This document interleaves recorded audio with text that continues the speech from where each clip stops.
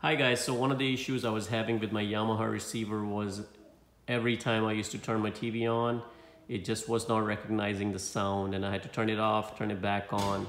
And uh, I was struggling with that for a while until I figured this out. So I just want to share that with you guys. So on the remote control, um, you have to go on the setup and uh, it'll bring up the setup menu on the left hand side of the screen as you can see.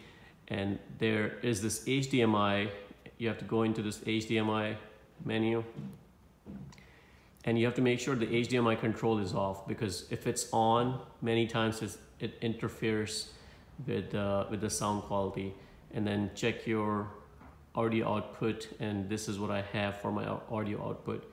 So once I made the changes uh, as shown uh, sorry as I just showed you, you guys on the HDMI uh, HDMI control needs to be off and this is my settings for the audio output.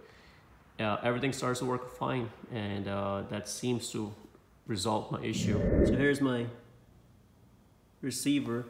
It is a Yamaha V381 and uh, I believe multiple people have issues similar to that so so also you need to check the settings in your television for the HDMI control and make sure that setting is off. This is a Mitsubishi TV and uh, you can see my settings. Uh, you might have a different television and you might have different setup.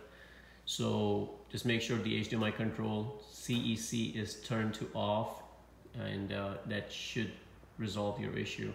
Uh, if you like the video, please subscribe to my channel and like the video. Thank you.